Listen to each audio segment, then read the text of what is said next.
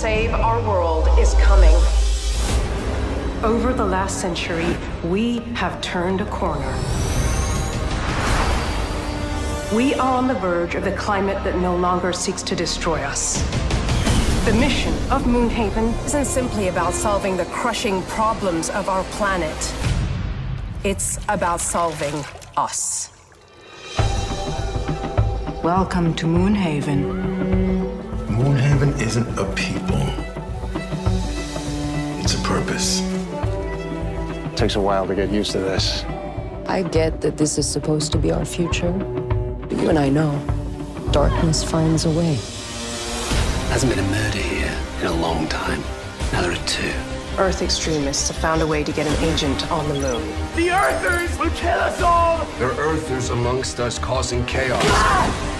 And your pilot is involved. Bella helps us. She's not what she seems to be. We don't survive in spite of our wounds. We survive because of them. We, all of us, have been raised to believe in this mission with all of our hearts and minds. If we cannot heal the dark heart of Bella Sway, how can we ever hope to succeed?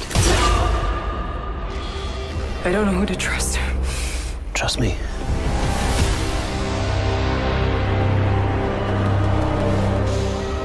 Boom, there you go. That was the trailer for Moonhaven arriving to AMC Plus on July 7th. And as you see on the screen, I'm so honored right now. I got to tell you, I'm just, I got to bring this energy up because you are a legend to me. I just, before we start, I got to give you personal thanks for inspiring a young brother of color like myself, uh, growing up in the 80s, man. So, uh, as you see on the screen, I got Kadeem Hardison, aka Dwayne Wayne, aka Arlo in Moonhaven. Such a pleasure, yes, sir. Oh, thank you, brother. I'm glad to meet you. Definitely, definitely, man. Uh, What's your name again? Kuya P. Kuya P. Is Kuya what they call P. me. Got you. It's, Yes, it's so sir. little, I can't see. Yeah, Kuya P. I got you now. No worries. Truly a pleasure, sir. Um, Oh, so uh, let, let's talk about uh, going from a different world to extraterrestrial worlds with Moonhaven. Um. Are you a sci-fi fan out, out the break? also uh, always have. I mean, I- as a kid, I was lost in space and Star Trek. So yeah, Star Wars. I saw 14 times. The first one, you know, stood out. Just got in the line, got back in line, got back in line. Watched it all day long. Um, yeah, I've always been a, a big sci-fi freak. Uh, just never got a chance to work in that medium. Yeah. now. Yeah. Yeah, I was like looking at the. IMDb. My mom, you, you man, Yeah. a legend, and they didn't give you no passes yet. So I'm hoping this is the start to seeing you representing, man. I, I love it, and I, I peeped the Thanos there. The nerd in me is like, yo, he, got Bishop back there. He got Thanos. He got Hulk. Yeah. Anyway, I'm loving it. Yeah, This is nerds yeah. rule the world. So NRW, we all about it. That's Um, it. So this, this is super dope. Um, so tell me about booking this role. Finally getting a role where you can play out of a sandbox that you're not normally in. You know what I'm saying? Yeah, I read this script and uh and and it was so new. Like that, I'd never read anything like this before, and and couldn't wait to audition and show off and and and show them how passionate I was about wanting to be down. And it went well, and I got the job. and yeah, just the ideas proposed in it about a society that could live with humans together. No crime no money no no famine. All those things that plague us now uh, are gone. And and i just thought nah i want to be down with this because we've never seen anything like this before. I've never seen anything like this before so i was really kind of excited to to be in it and, to- and to go after it actually I love it. All right, so you booked the character, you book Arlo. What what did you want to bring to him, and were there was there any input or, input or notes that uh, with Peter Ocko? Shout out to the showrunner uh, about Arlo. Um, no, he pretty much was like, "You got it. You are True Loon." Like, and he said that when he said that to me, it it kind of let me know, okay, I really I want to I want to make like like there's conflict in most of the characters. That's what's good about it. And for Arlo, so far, well, I don't know how much you've seen. not a lot of conflict. True Loon you, you're not about the conflict. You're about the resolution, and and he is definitely 100. percent I get like then I made up in my head. Okay, I'm third generation Mooner. That's truth. That's fact. Not not in my head. So then I had to go. Okay, this is my grandfather's work that started, passed on to my father, and then passed on to me. So it's not like they snatched me out of you know Philly and said, "All right, now you on the moon, learn how to deal."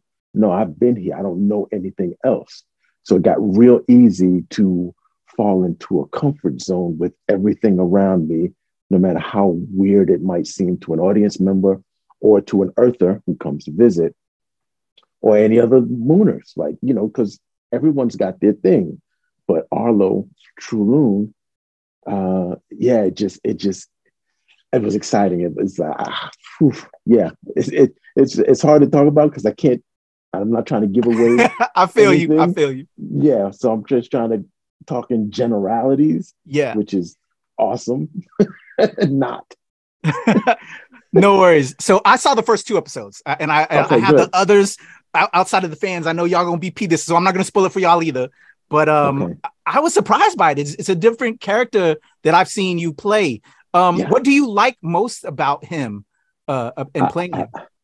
I, I, I love the fact that he's so true to the cause. That there's no there's no crack in his armor, um, and I love that there's a little playfulness in him. Like it's not just a detective and and and and you know he's straight laced and by the book. No, there's lots of outside of the box thinking. There's lots of exploration with him. Um, he still kind of has a a, a kid in his heart and he wants to uh, discover. Um, so yeah, that was probably the the most fun. Um, running along with Dominic was fantastic because you know I'm a fan of his. So putting us together, I thought was going to be fun. You know, for me, I like good partners, and and Emma too, because most of my scenes are are with Dom and Emma and Joe yeah, you know, you give me good partners, we we're gonna we're gonna have a good time. And um and everybody on the damn show is so talented and, and so good. And it's always it's always fun to hear someone else to watch the show and hear their moon speak, you know, as mooners. Because everyone's just a little different because we didn't get together and go, okay, how you gonna talk? How you gonna talk? Okay, I'm gonna talk like that. Uh-uh. We had one table read where we read the script out loud and you got to hear me like, ooh, ooh, her moon speak is dope. Like, yeah. So, so yeah, so I was like, okay, well, I'm not from England, like most of y'all. So I got to come up with my own moon speak that still feels real and organic to me. Um, so yeah, that was fun. It was just, it was just a blast just to to hear it out loud and to to work with the other actors. It was, you know, all a joy. I dig that. I, I got to say, when I first started watching it, because I don't know, without spoiling, it started with that moon speak, and then with you and Dominic, mm-hmm. you know, talking and everything. Mm-hmm. I was like, hold up. I didn't quite get it, but then I was like, oh, you know what? I got to think it's a different time, generation. Yeah. And yeah. then I got, then I was like, okay, it, it's building yeah. a world and we're feeling this new world. So that was spectacular. So you brought oh, up Dominic man. and I, that partnership, I didn't know I was going to love it. And I love that y'all were, y'all worked great together. It was a buddy thing that I didn't know I needed, and it was wonderful. Um, yeah. Talk to me about collaborating and Dom and like friendship building on set and how that came together as partners. He he's so like he's got I say he's got a cheat code because because he uh he's super curious. That's his thing is be curious, and he's always looking to push the envelope a little bit and try something and da da da. And with the English accent, everything sounds like a good idea. It's hard. It's hard to go. Nah, I don't want to do that because the way he says it, it's like, yeah, that sounds great. Let, us give it a shot. Um, yeah, he's uh, he's great, and and watching them now, I have a, an even uh, bigger or better appreciation because I, I I see the work and I and I see his you know his subtleties and his things that I love most about acting. So um, so when we're split because there's a good portion of it when the partners are not together. He has his home life. I get to, you know, those are scenes that I'm not in, so I didn't get to see him. I just read it and watching it, I see, oh yeah, he's rocking. Oh yeah. and then you feel for him because he's in a tight spot.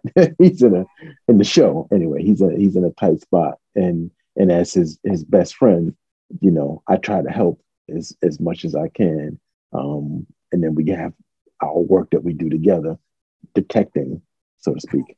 Um, try not to give anything away, but yeah. I feel, I feel. Well, I, again, I saw the first two episodes. I hope it, it, continues. Just you both are absolutely wonderful together. I didn't know uh, I needed it in my life, and it, yeah. it, was it was well done. So uh, yesterday, I had the opportunity to speak with uh, Miss Emma McDonald uh, hey. aka Bella Sway, the star of this. And yeah. again, going back to like as you were saying earlier, like we as POCs don't get a lot of these kind of roles, like like yourself. Right. You know what I'm saying? Absolutely. So yep. as a POC, I'm like, man, we're representing in here. You're killing it in here. Talk to me about this young Emma McDonald who's going to lead us in this as well and going forward. That we we in space too. Yes, she is our Han Solo, our Tomb Raider, our Princess Leia. She's all of that. Like I'm so happy for her. Like she doesn't know what's coming yet because it's her first kind of big gig. So, you know, hopefully this just does wonderful things for her. She's wonderful in it. You know, she's English and she's talking with a, an American accent. She's playing an American accent. And I was always right there in case she was like, you know, a word didn't sound right to her and she could check with me. And I was like, you got it, kid. I, you know, I got nothing. I'm listening. I'm definitely listening out. And I hear, I don't hear anything false here. All your notes are good. Um, yeah, she did action. Like she's, yeah, she's good. She's good. So, and she's hardworking. When I got to, to, this is actor stuff. Um, when you get to the table read and you see everybody opens their script, you can tell sometimes, you know, just how prepared or how deep of a dive someone's going in. When you look at script and you see some notes on it and then you look over at Emma's script and it's color coded you know she's got color coded tabs going down. I'm sorry for telling your business but that's what we do. Sometimes we got to figure out where you are in this moment versus this moment versus this moment what's your attitude here. And boom bang she had it color coded so when you turned you know, her scenes, and she's pretty much in all of them. She's got all her uh, her internal stuff, her attitude, her her her um um her ad, uh, uh shoot, what's the word? Oh man, the clock is going tick tock tick tock. her objectives, yeah, know, she's got them all lined up and in place. And I was just like, oh, it took me back to when I was young. it's like, yeah, I remember at one point I did do that. And then I got older and was like, yeah, nah, I'm not going to do that. So, but I love it. I, I love it. I love seeing how hard she works, how hard she worked at stunts, at everything. You know, I mean, she's, uh, yeah, she's our Han Solo. I love it. Well, I'll just let you know uh, when I asked her uh, about her colleagues on this and, and working with everyone. She sang your pra- praises and uh, really appreciated your mentorship. So, so to close us out, you know, my, my last question was tell me about the cast, and she immediately brought you up. Uh, Tell me about the cast and, and uh, what they can expect from you all with the rest Ooh, of them. Boy, we got Joe playing a little bit of a heavy, um, Joe Manganiello, um, Amara, Amara, sorry, Jesus, the names. Um, so okay, because I'm trying to say stuff without tipping stuff off because I got my own thoughts and my own feelings about this and that. But just as a cast in general, it's probably one of the the, the most talented casts I've ever been a part of. Um, yeah, everybody in it is is on point. Ayelet is is is a is a oh she's a fire. She's probably to watch my favorite because I had no scenes with her. So everything she did was new to me. I had scenes with Joe, I had scenes with Emma, I had scenes with Amara, I had scenes, of course, with Dominic, but Ayelet I had nothing with. Well, one tiny one where we're, you know, sitting apart across a room from each other. And and listening to her and watching her in the show, I just go, yeah, it, it, makes you think, oh man, I could have did better. I should have did better because she took the game, she took a level up to here. and it just made you go, wow, we got something. We got it covered on all bases. On you know, me and Dom as partners, Amara and Ayelet as semi adversaries, Joe and and um, Emma as you know seemingly friends, maybe not, maybe adversaries. Yeah, uh, Yasmin quietly sneaking up in the background, like yeah, it's it's a great cast. I'm, I love I'm it. Thrilled that that we're all together. That we're you know we that they put this group together, and and hopefully we get to do more of it. Yes, yes. Let's return yes. to space again. Um, yes. Well, Kadeem, this is truly a pleasure. I, again, I have to give you all the love and light, and thank you for being such an inspiration for me personally, from from the bottom oh. of my heart. And even now, as a father, you kind of have that that role in a way as well yeah. in that visual for me so you're continuing to inspire me i can't wait to see you more hopefully you know we'll continue seeing us in space uh, but yes. this was truly a pleasure kadeem hardison y'all aka cool. arlo moonhaven is on amc plus july 7th check it out thank you so much sir thank you Kuya